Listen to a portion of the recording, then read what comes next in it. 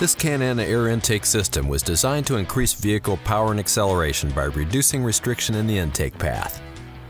The K&N 77-3071KS air intake system fits 2010 and 2011 Chevrolet Equinox and GMC Terrain models with 2.4-liter engines.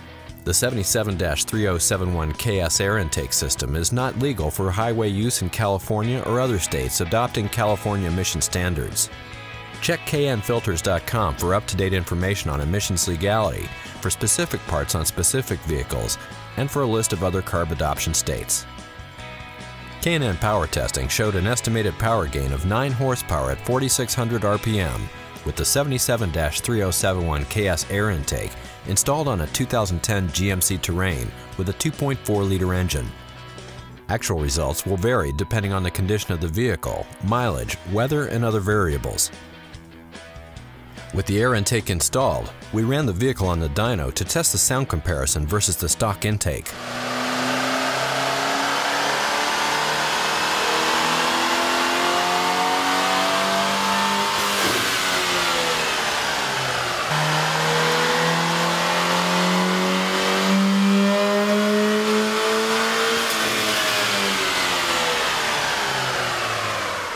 The intake kit includes components that have been designed or matched to the needs of these vehicles to produce a safe horsepower increase.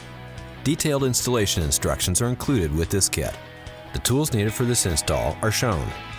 Turn off the ignition and disconnect the negative battery cable. Disconnect the mass air sensor electrical connection. Disconnect the crankcase vent tube from the intake plenum. Loosen the four screws that secure the upper air box to the lower air box. Loosen the hose clamp securing the intake plenum to the throttle body. Remove the intake plenum and upper air box from the vehicle. Remove the air filter from the lower air box. Remove the crankcase vent hose from the valve cover port. Install the provided filter adapter into the K&N upper air box and secure it with the provided hardware. Install the K&N air filter onto the filter adapter and secure it with the provided hose clamp. Set the K&N upper airbox assembly onto the factory lower airbox. Remove the four upper airbox retaining screws from the factory upper airbox. Secure the K&N upper airbox with the four screws removed in the previous step.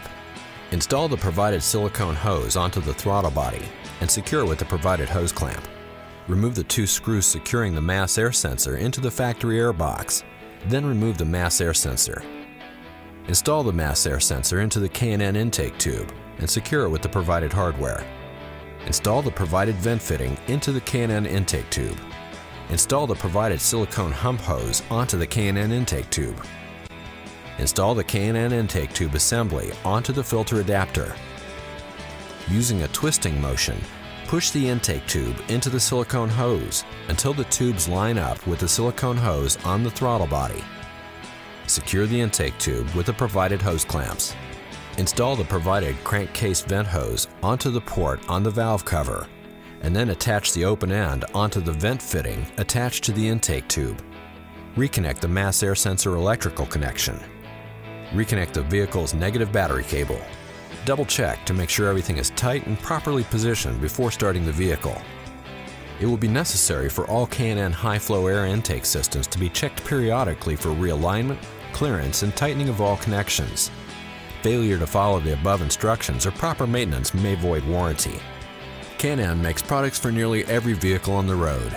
The K&N website allows you to search products by vehicle or dimension, download installation instructions, view dyno charts showing estimated horsepower gains for this product, and view product details.